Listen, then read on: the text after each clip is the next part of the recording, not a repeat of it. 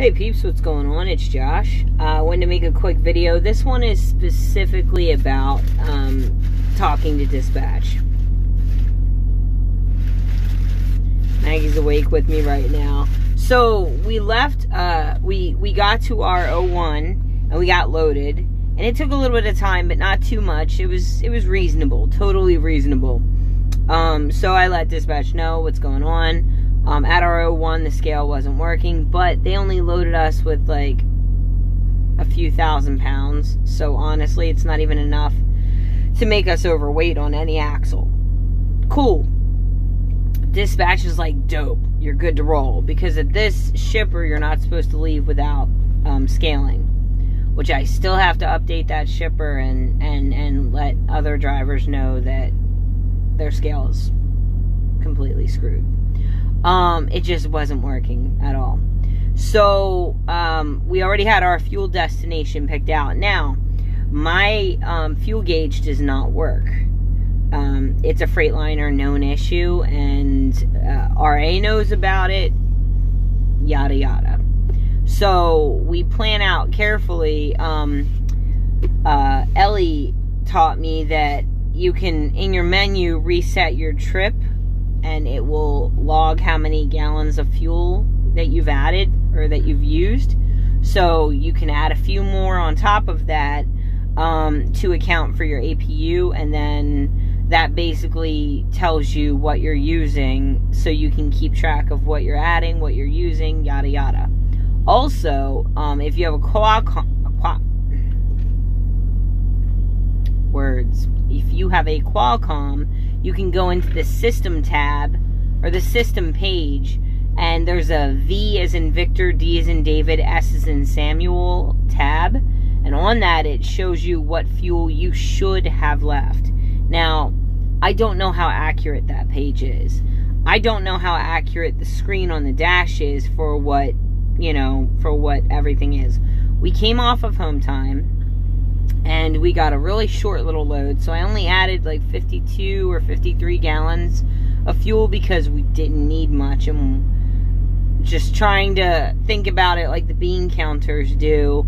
You only want to add what you need for that trip in most instances. Now if it were colder like we're in california so it's not otherwise i would keep a lot more fuel on deck because it's a safety concern. Also if it were the middle of summer I would keep more fuel on deck because it's a safety concern. You need fuel to be able to keep your temperature regulated. But right now, it's not such a big concern, so I only added 53 gallons. Kind of wish I had done more now because here we are. I've used 54 gallons based on the dash, so we're going to estimate that I've used about 60 gallons. Um, and so the VDS tab on the system screen is telling me I have 25.2% fuel left in my tanks. Don't know how accurate that is. My screen tells me that I used everything that I added. So what that means is that I'm at a quarter of a tank at best. And what that means per Darwin is that we are fucking empty. Now, this fuel destination that we planned on, their pumps are down. Their pumps should be up within the next hour or so, so they said. So we're waiting to see what happens with that. But um, I, I the 160 miles down the road is another fuel destination, and I called. Their pumps are working. So if I could get there, and I, let's okay, real talk, I possibly could get there, or I could run out of fuel. If I run out of fuel and my fuel gauge is below a quarter of a tank, that's on me for the wrecker even though I'm a company driver. So, um, and also, it's really bad for the truck to run out of fuel. Like, I can't tell you how bad it is for a car, let alone a truck, to run out of fuel because all of the gunk at the bottom of your tanks is now going through your fuel filter and your fuel system, and that's really not good. Um, so I don't want to do that. And also, it's not good for the load, it's not good for my hours, it's not good for any of the above. So right now, all of these pumps are shut down. And there are several of us who are in this predicament. Um, one of the other guys was like, Are you kidding me, man? Like, I need fuel. I can't go anywhere. There is no parking. This lot is full. Um, so I'm at the fuel island. So I was sitting here like, I don't know what to do. Because I could take a risk and it could pan out and things could be great. In which case, yay. Or I could take a risk and I could really mess up. In which case, I'm going to cost the company more money than me sitting here for an hour is going to cost. Now, when I first got this load, it was already determined that it was going to have to be repowered. That's just what my dispatcher told me, and I was like, groovy like a drive in movie. Okay, that's fine. I don't have a problem being repowered.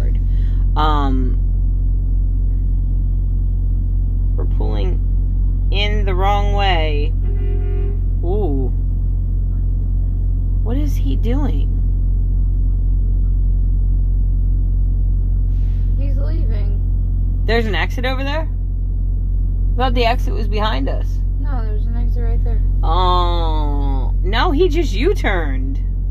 Well, that was stupid, but there's an exit right there. Yeah, big dummy. Dick Horse says don't U turn. Anyway, um, sorry, just fishbowling over here, watching, watching the world spin, as it were. So, I'm sitting here freaking out and I'm not sure what to do. And I'm like, you know what? Dispatch is there for a reason. Yeah, they might roll their eyes. Oh, it's another novel from Josh because I'm sending them another long message. But at the same time, number one, I value their input. Um, no, they may not be out here on the road, but they do have a lot of experience, a lot of knowledge, and in my opinion, they are removed so they can see the bigger picture. Whereas I'm in this truck and I can see what I can see from where I am. And I don't know what the priorities are always because I'm still learning every single day. So I called dispatch. Well, I didn't call, I sent a message to dispatch because I felt like I could more clearly lay out all of the details and let them ask me further questions if they have them.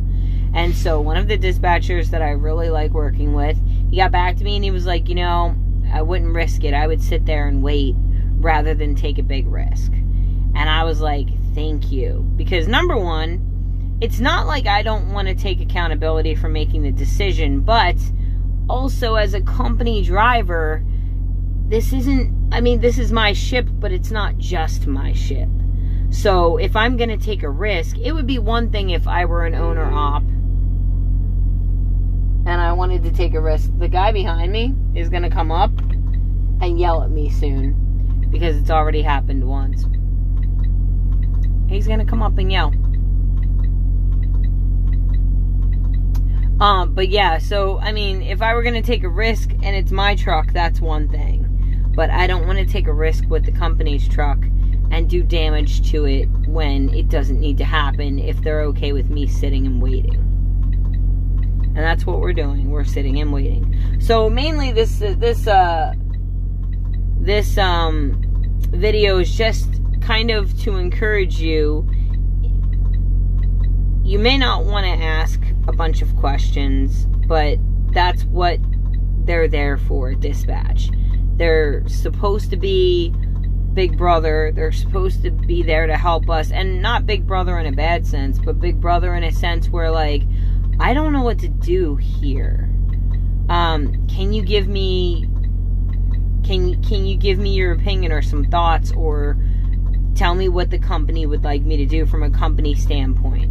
Um, and that's you know honestly I think that um, I made the right decision in reaching out to them. And and here's the thing: in trucking, you are going to make so many choices, so many choices and some of Good them. thing that he who shall not be named isn't working. He would just tell you to go fuck yourself. what? That's very negative. Is it wrong? It's very negative. He We're not hangs up when talking about call. that. We're not talking about that. Um, but basically, so I don't know why you would say that in this video Why not? Because it's not appropriate. Um, but basically, and it's not positive. We don't put out negative shit to the world like that. People, other people can do what they want to do, and that's karma. But as for me and mine, I prefer to just, you know, try and do the right thing. And ultimately, So if you're sitting here and, and you're and you're wondering and you're scared and you're and it, call dispatch. Um, if you are are lucky enough to still have a trainer that you can reach out to, reach out to your trainer. Document things on the Qualcomm because it's not that I didn't want to make the decision or be responsible for making the decision. It's that I don't feel like I have the experience to know where the priorities lie to make the right decision without a little bit of support. So, yeah, that's basically what we're what what what I wanted to talk about because um it, it's it's hard to know what to do out here and it's nice when you can reach out to dispatch and they're going to give you an honest opinion or they're going to give you uh, an answer and say hey this is the situation why don't you go ahead and wait it out it sucks to be sitting. It sucks to be. It sucks to wait it out. But you know what? Go ahead and do that, and you know that way we don't have you running out of fuel. Because you never, you never know if you're going to be able to get to the side of the road. If you run out of fuel, you could run out in the middle of a lane or something, and then it, could end up being a safety risk. Then you're risking not only the load, but the truck and your lives, and nothing's worth your life. So, um, yeah, that's all I wanted to talk about. I hope that you guys are good. Um, I'm, I'm seeing some of the comments, but I've been busy, so I haven't been able to respond to them. My sleep is hella broken up right now, but that's okay. We're fine. But um, I just wanted you guys to know thank you, uh, that I want to thank you for commenting and watching and spending a part of your day with me. Um, I appreciate it more than you know. So, yeah. Alright, guys. Um, I'm gonna probably get yelled at by another trucker in a few minutes. No. Anyway, much love. Peep out.